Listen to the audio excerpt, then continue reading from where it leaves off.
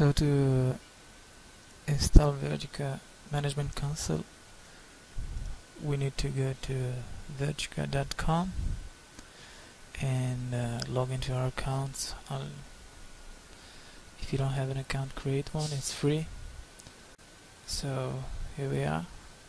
Log into your account. As you can see here next we go to the download page here we are at the community edition softwares. Next choose the version of the management console. In our case it's gonna be a Red Hat edition edition uh, read and confirm the terms next one the software will be downloaded on our machine. This might take some time depending on the speed of your internet but this should not take more than 5 minutes. Alright.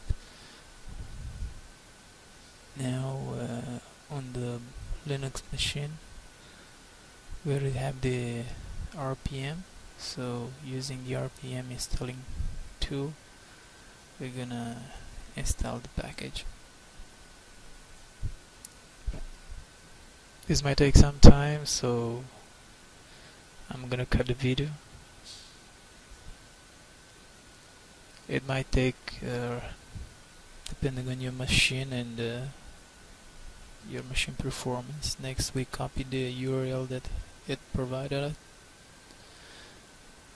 we're gonna open a browser and uh, paste it in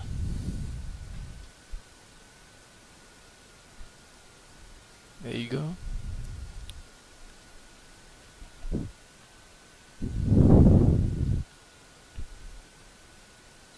Add the exception to your browser since it's a secure connection.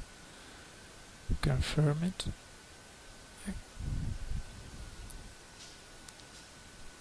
This might take some time so like I said depends a lot of your on your operational system performance accept the license agreement and choose next. Here we're gonna choose a username to be the admin of the management console choose a password in our case is gonna be the same as the username.